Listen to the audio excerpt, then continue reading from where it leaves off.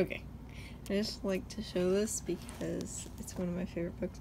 I found this in a recycling bin, so like, yeah. But it's filled with a lot of different fonts. This one's like one of my favorites. It's just, ooh, it's just Old English. And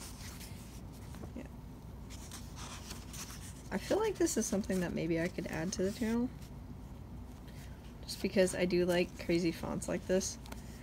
I just didn't think of it as art form as much as it technically is. Saying that, if you guys saw in my Hobbit map video, this is the one that I have. It's fine point. This is more of a like thick edge yeah, all I have is this. So I would have to draw that and then just fill it in. But it would be something that I would enjoy. I don't know if you guys would enjoy, but I'm gonna put the channel name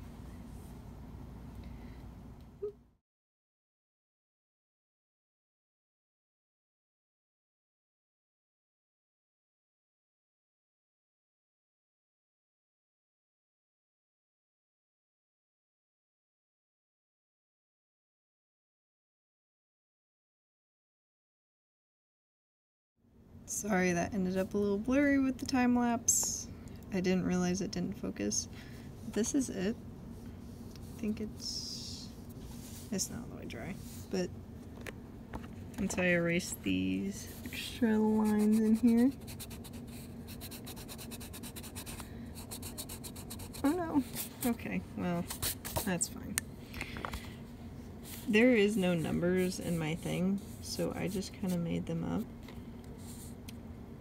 I think they didn't turn out too bad, but I did need to bring that out a bit more. But I really like this font because of this. Like, it's pretty to me. Thank you for watching if you watched all of it. I should be making a Pokemon video this weekend. Should be. It's just hopefully I'll have time for it.